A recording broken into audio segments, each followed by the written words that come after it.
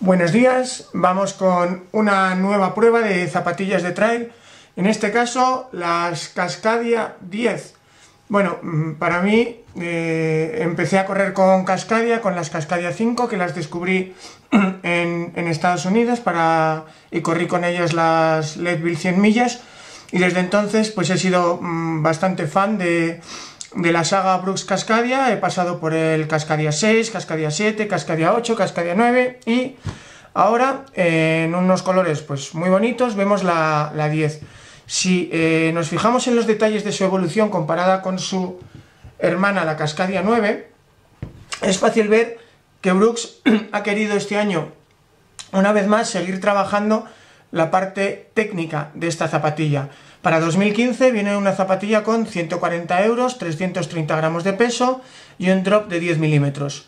Sigue queriendo ser una zapatilla muy cómoda y amortiguada y muy polivalente, pero eh, si os fijáis en las, cinchas que ciñen el empeine, eh, en un sentido o en otro, van incorporando cada año más piezas y materiales para que la parte, eh, digamos, débil de esta zapatilla, que son los terrenos técnicos, pues eh, vaya dando mejor rendimiento.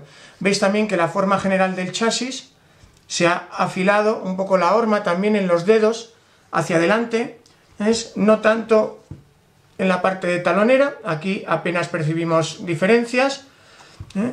pero sí que se ha trabajado en el chasis. Entonces, vamos a ir en detalle con que funciona, repetimos, la Cascadia 10 es la zapatilla de trail neutra por excelencia y probablemente la más vendida a nivel mundial eh, por el equilibrio que tiene entre amortiguación, comodidad y polivalencia en todo tipo de terreno.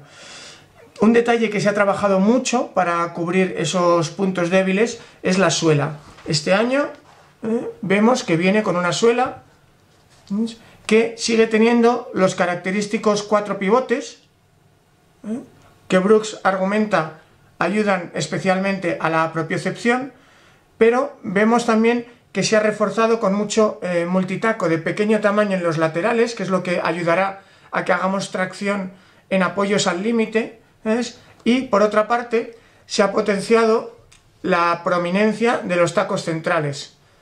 Veis que tiene también ahí atrás una protección antirroca interior, que la goma eh, está diseñada para que podamos verla en rojo.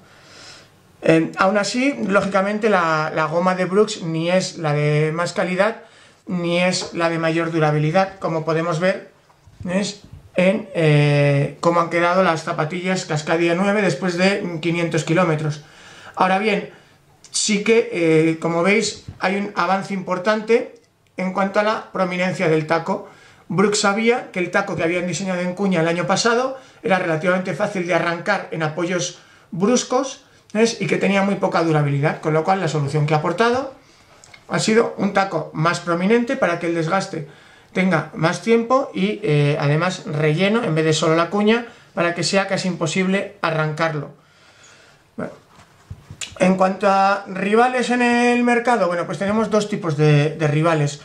Mm, básicamente para una zapatilla que puede ir desde mm, un medio maratón hasta un ultra trail, tendremos rivales eh, que le ataquen por el lado de comodidad y suavidad y facilidad de rodaje, como la New Balance Leadville, que desde hace mm, año y pico, dos años que se lanzó, pues realmente ha puesto un nuevo estándar en cuanto a comodidad y, su facilidad de rodaje. Puntos fuertes y débiles de la una contra la otra, como veis, eh, cada vez más se parece la horma, ahora con el cambio de Brooks hacia una horma más eh, en punta, más asfaltera, pues eh, hay menos diferencias, pero para un mismo número, el 43, la New Balance da más espacio en, dedos, que es uno de los puntos que los usuarios tradicionales de la Cascadia notarán que con esta zapatilla Cascadia 10 hay menos espacio en dedos. Entonces, por favor, antes de pedirla, de, de dedicaros a pedirla online, mirarla despacio en tiendas, porque quizás en las bajadas técnicas o en las bajadas a cañón prominentes, esa diferencia en dedos eh, se traduzca en uñas negras. Uñas negras que no había con la 9, pero sí puede haber con la 10. Eh, eso no ocurre con la New Balance Leadville, que hacia adelante y hacia atrás tiene una sujeción fantástica, en gran parte por su eh, suela Vibram, que, mm, como veis, lógicamente ha inspirado algunos de los, de los cambios recientes que vemos en la Cascadia 9, esos tacos interiores macizos y esos, ese borde en, tacos exteriores para facilitar el, el, agarre. ¿Cuál es el punto débil de la Leadville contra la Cascadia? Los apoyos laterales. En los apoyos laterales, como veis, la Cascadia 10 lleva bastante refuerzo en un punto y otro, mientras que la Leadville no lleva nada, lleva apenas eh, pues una cubierta normal y corriente sin más sujeción, con lo cual en apoyos laterales bailará bastante.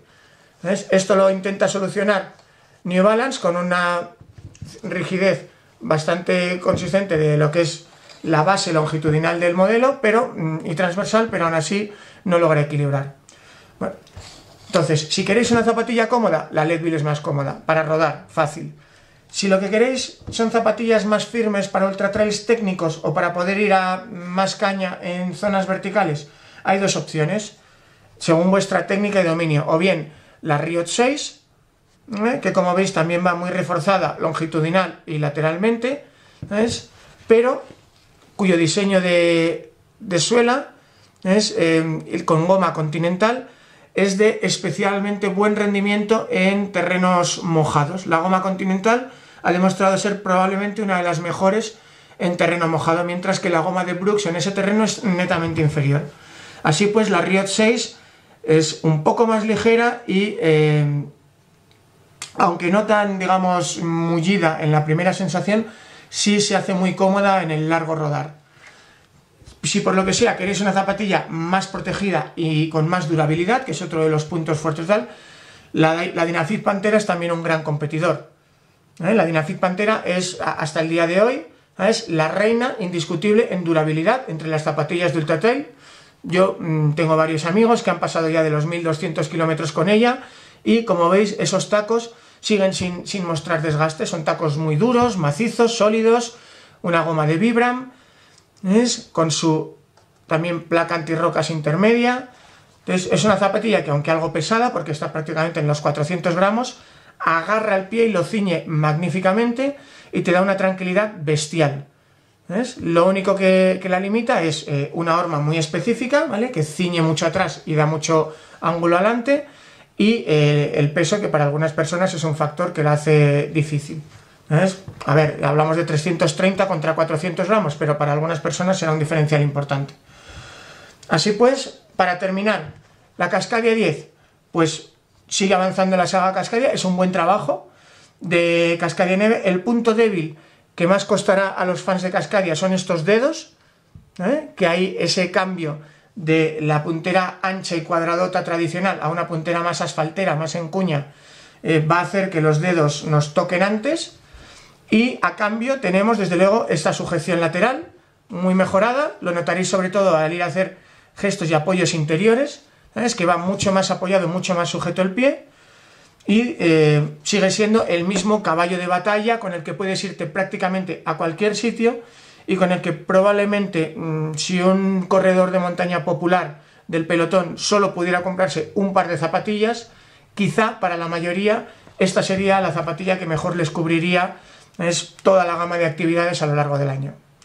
Gracias por vuestra atención y mm, esperemos ahora ver cómo se portan en la prueba a fondo de 200 a 500 kilómetros que mm, realizaremos con ella en las próximas eh, semanas y meses. Hasta luego. Mm-hmm.